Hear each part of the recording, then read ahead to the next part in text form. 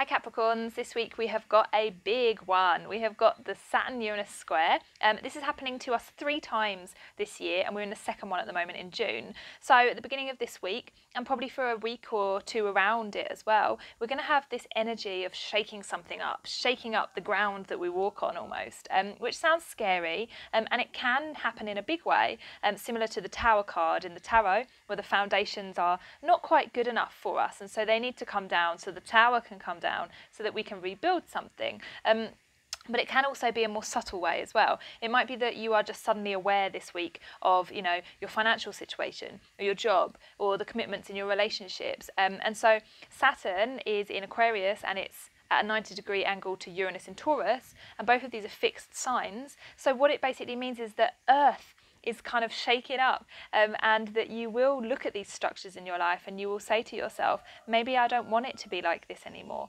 Maybe i want something different. Um, and that's going to be a call for you to go higher.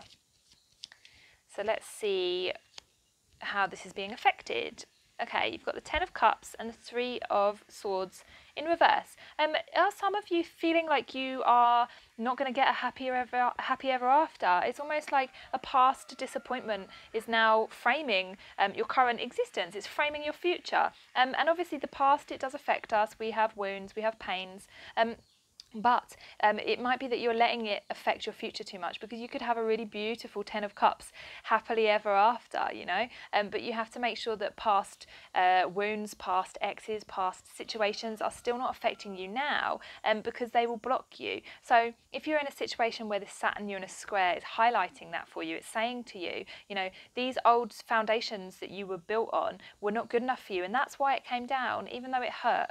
Um, but there is something better coming for you, um, and all you have to do is claim it now and say, yes, I want something in the future. I want that happily ever after.